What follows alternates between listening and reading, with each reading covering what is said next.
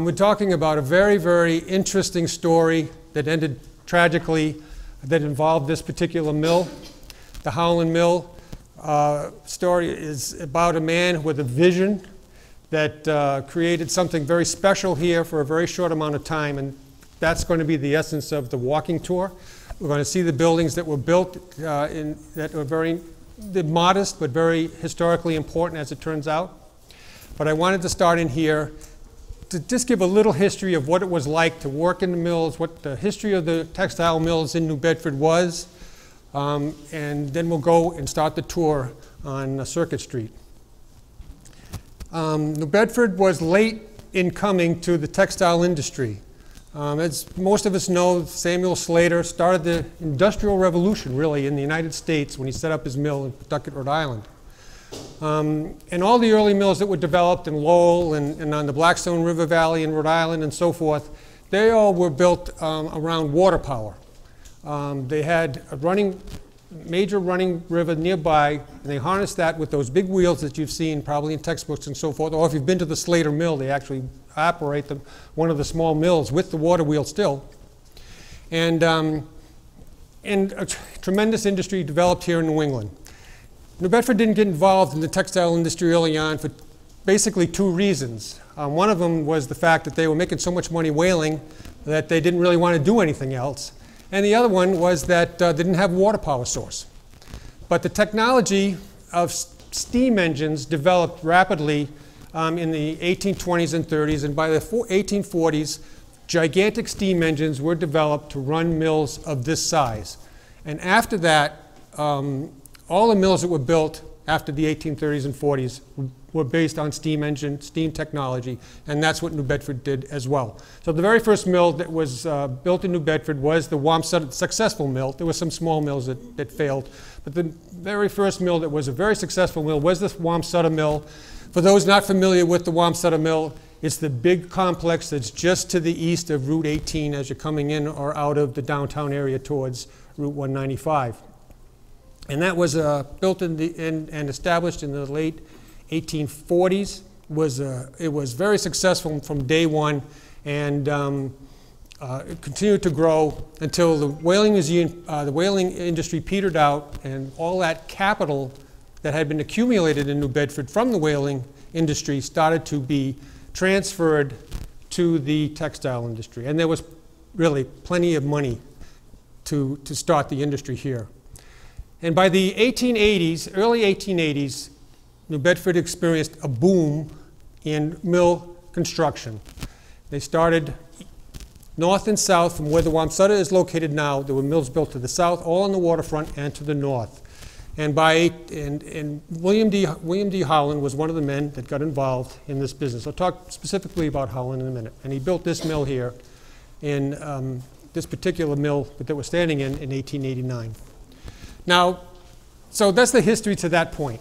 Um, we were in the middle of a boom period, mill construction, mill production, and it, all um, cotton products for the most part. There were some da dalliance in silk and wool, but primarily in New Bedford it was a cotton town.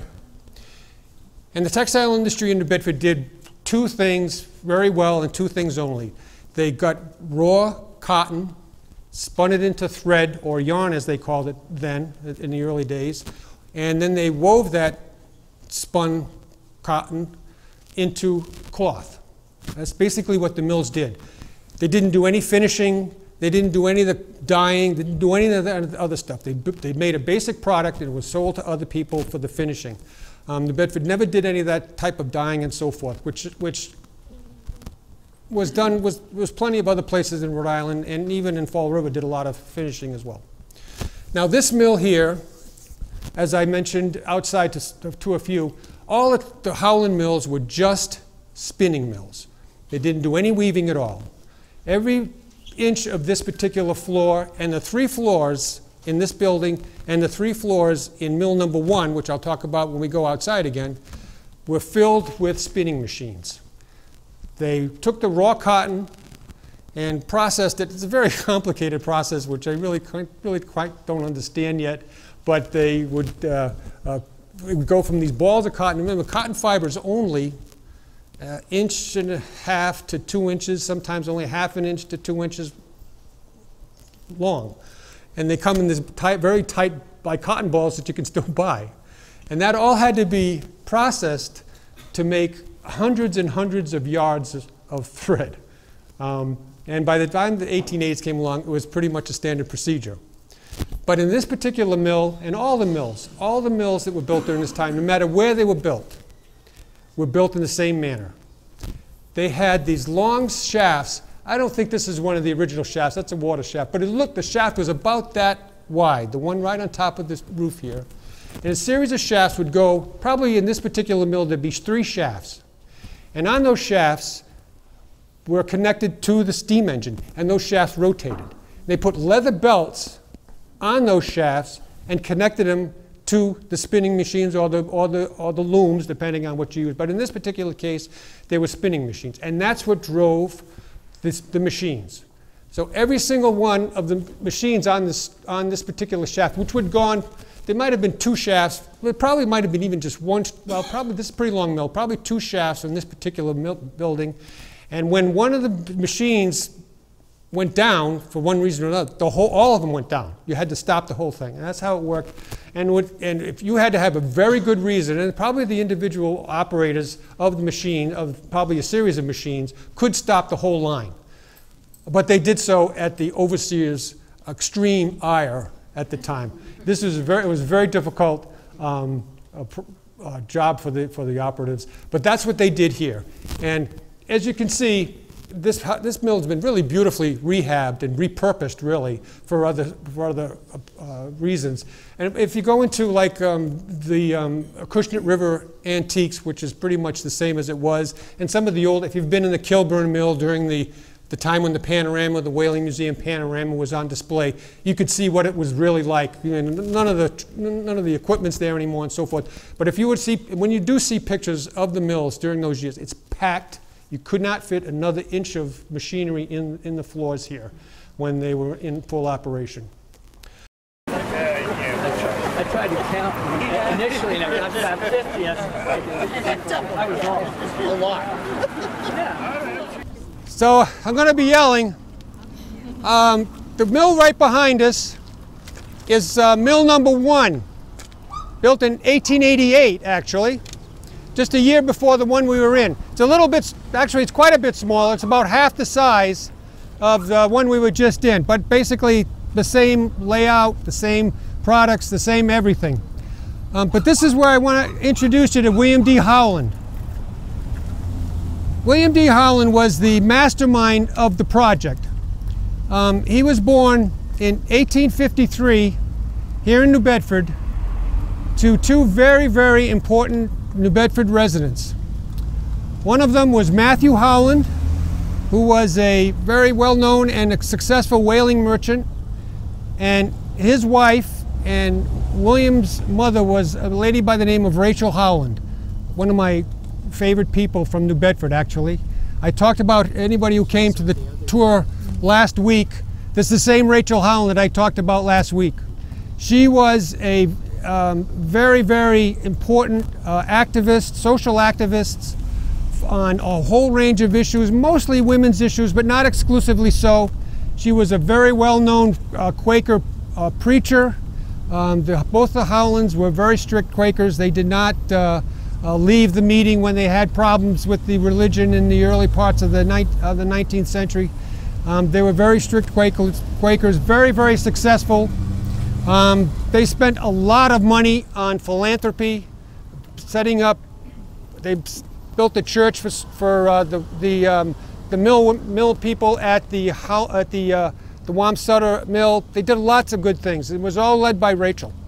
So that was his parents. One very, very interested in making money and adept at making money, and his mother, who was very, very socially conscious and acted upon those convictions. So kind of an interesting uh, combination of uh, maybe skills that he brought to this, to this site. Howland went to Friends Academy, graduated from Brown University uh, in um, 1872, and started working. He decided, though, he wasn't going to follow in either one of his parents' footsteps. He was going to make his mark in textiles. He worked five years at the Wamsutta Mill learning the business. Then he took a year off and traveled around to see other mills and how they, how they operated, and then decided to set up, to set up his own little cotton mill, which he did um, on land that his, his father owned at the foot of North Street. His father was um, a very successful whaling merch- merchant. He had his own wharf on, on, at the foot of North Street, and he owned land uh, on, the, on a few blocks up from, on, from North Street himself. And the whaling business of the Howlands took a very, very bad turn in the 1870s. In fact, they lost so much money in two successive disasters in the Arctic where they were whaling at the time that uh, Matthew and Rachel really were living uh, off their creditors' uh, goodwill by the time the late 1870s came. So William was maybe doing a little bit of the family a favor by buying, he bought the, the, the site on North Street and he built a little mill called the New Bedford Manufacturing Association, uh, a, a New Bedford Manufacturing Company. And uh, um, it was completed in 18, 1882 and it was successful. He made some money. And the investors that he, that he uh, convinced to, to help him with the mill were some of the most important people in New Bedford, the Roach family and the Clifford family. Um, especially the Roaches. The Roaches had still had a lot of money. William J. Roach was one of the wealthiest uh, men in, um, in New Bedford, and he was the financial backing for the, uh, the New Bedford Manufacturing uh, Company. With that uh, uh, encouragement and the amount of money he was making, he decided to, to go on this grand scheme. And basically, without beating it to death, he bought 150 acres in this area of New Bedford. Basically, from Rivet Street to all the way to Dartmouth Street and down to Orchard Street as well, and even out to Cove. 150 acres of land. And he was going to build this massive industrial, residential uh, property um, on it. But it was going to be a little bit different than your typical residential property. He was going to um, do his best, his best job in, in creating housing and living environment for his, his workers as he possibly could. And that's what he tried to do here. And that's what we're going to see in a few minutes. Um, all of these mills that were built, no matter where they were in New England, uh, when you built a mill like this, you automatically had to provide housing for at least 100 to maybe 300 people right out of the box. They needed some place to live. They weren't close to areas where there was a lot of housing because they were all spread out in areas that were unoccupied. This particular section of New Bedford, when Howland bought it in 1886, was virtually empty. There was nothing out here but, but abandoned farms and nursery land. Um, there was the, Bolton Street did exist, but nothing else existed out here. Um, and the same thing with the new mill. So you always had to provide housing when you built a new mill. And the housing they built was usually of the poorest quality and even worse maintained. And he wanted to, he wanted to uh, uh, break that mold and develop something that would be pleasing and, and, and, and human to the workers in the mill. And that's what he did. And behind us is the Howland Mill Village. 25 houses built when this building was built, and another 25 houses when mill number two was built. Now, there's no way that everybody who worked in the mill could have lived in the houses because they had too many employees. That mill probably started out with 150 people, and that probably started out with 250 people. And there's no way that these these houses could, could supply 500 uh, units of, of living. They were single family houses, but it was a good start. And the other, there were plenty of people that they recruited to work in the mill from the area just south of Orchard Street and Rivet Street, so that's probably where the rest of the workers came from. So he built this great village, uh, made it affordable. The village cost $100,000 to build, and the infrastructure for the for the uh, village cost another 38,000 because they had running water, hot and cold running water. They had um, sewer systems. They had a few little roads. The two roads that we're going to see, we're going to walk on, they were built as well at the time. and they had to build a road at the back of the mill as well because the Jenkins Street did not, there was nothing there, nothing existed at the time. The rents for the village were eight for the five room cottages, eight dollars a month for the five room cottages, and ten dollars a month for the seven room cottages. Now you have to realize that the weekly rate wages at the mills were five dollars a week to fifteen dollars a week. Five dollars a week for 56 hours. That's a standard work week at the mills. No matter where you went, that was the standard work week until World War II. 56 hours a week. 10 hours and 10 minutes a day, and 5 hours and 10 minutes on Saturday. But nonetheless, there was an equal uh, distribution of the wage earners in the, in the village. It was really revolutionary. People were really, you know, this was a model uh, mill housing at the time. Uh, it was written up in papers across the country, actually. And uh, the city was very proud of it because, you know, when there was strikes and there were strikes constantly, and that was one thing the Howland wanted to avoid at all costs was an adver- adversarial relationship with the with the workers. So, um, so this is what he, this is how he tried to solve it. One of the reasons how he's going to solve the problems. You had to you had to work for the mill to to rent one of the properties. They took the wage they took the rents out of your wages. You could sublet. You could sublet your house actually. They allowed that, and they would also allow you to buy property because they owned. When we go to the end of the property, everything towards Dartmouth Street was owned by the, the corporation. It was vacant and stayed vacant for a long time. Um, you, they would, uh, they, you could buy a lot and build your own house if you wanted to. They're very, very generous about housing and, and so forth. So that's what that's what it, what we did, what he did here. We're going to walk up right here in a minute. There are four four distinct designs in the village. There was seven. There was 15 five room. You can tell probably by the size, which is the five rooms, and 35 seven rooms. There's four different styles. There's a, uh, a the traditional gable end. There's a there's a, uh, a jerkin head or clipped gable end. There's the um, the gambrel end, and then there's the, the colonial gambrel, like a like a Cape style gambrel. And there's three of them in the very first on our very first start. This house right here is exactly like it looked in 1895. That Somebody did a the government actually did a survey of mill housing in in New England, and they did this they did this project um, in spades actually.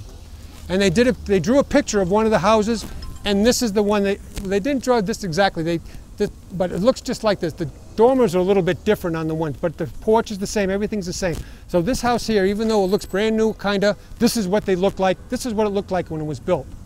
You've done a nice job of keeping it up. this one here also looks pretty much exactly the same as when it was built. This is called the jerkin head end or the or the clip gable end.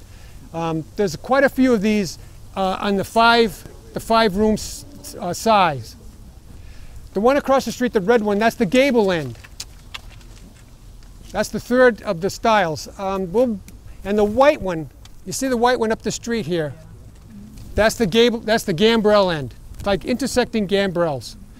Um, so they repeat. There's a little. There's differences in each one of the houses. They're not all exactly the same.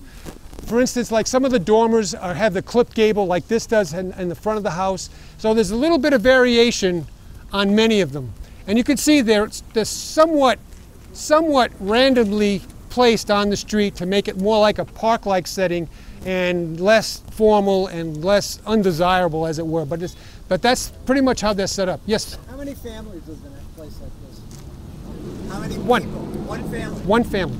They had full basements, as I mentioned. They had uh, uh, most of them, the bathrooms on the second. They just had. They were nice little houses. They had full basements, concrete basements, hot and cold running, running water, and uh, they were connected to the sewer system. This house here was the was called the tenement or boarding house for the mill. This was built by as part of the, the village. Now it wasn't always situated here though. It was on the corner, along with three other houses of Rock, the northeast corner. This was right on the corner of Rockdale and Bolton, where we were. This was right on the corner. This was a tenement house or boarding house for the male, single male workers. Try as I may, I couldn't figure out how many people this house would, would actually um, hold, but probably at least 10 or 15. What would you say? It had nine apartments. Nine apartments? All right, so 10 or 15 probably. Uh, it's been modified greatly. Um, they, these two towers in the front are, I guess, I'm not sure what they, that's the stairwell, probably the stairwell now. But this house here was, the, was part of the village, uh, but it was moved here probably around 1915. Um, they built the weave, the next owners of this, of the mill built a weave shed where the Ciabra is and so forth um, at that site. And I think they probably demolished the, the little houses because the, there's about 47 or 46 that still that still stand, and there's three or four missing. That probably lost three of those, but they did move the tenement house to this location. When you look at historic photos, there's a lot of historic photos of the, of the site, um, and you can see this building is clearly the tenement building that was moved. It's been modified somewhat, but the design is very, very similar to the other houses in the village. Um, and it doesn't look, it looks like it's out of, a little bit out of place here, but it actually is part of the village um, that was built um, in the first round of buildings in 1888. One of the things that, uh, they, that Howland did for the employees was take them on an excursion to Martha's Vineyard every summer. He chartered a steamboat. Matter of fact, they even in this article I told you about the 60,000 pounds, they also talked about this, uh, this, this benevolence of, of paying for chartering a steamer and bringing as many people as he could to, to Martha's Vineyard for an outing. They had scheduled picnics and ball games and bicycle races and all kinds of things. Food. They even had a band on the ship so they could play music on their way out there. They identified the ship actually in the article. And it's a ship that you could find online. And was a pretty big steamer. I don't think it would have held more than three or four hundred people, but um, maybe more than that. But anyway, for three years running, actually four years running, uh, you know, he used, he went on this, uh, skirt, he rented a steam, chartered a steamer, a huge steamer, like a Fall River Line boat. If anybody's ever seen a Fall River Line boat, one of those types of steamers, and he took everybody who wanted to go to Martha's Vineyard for the day. He was in Germany.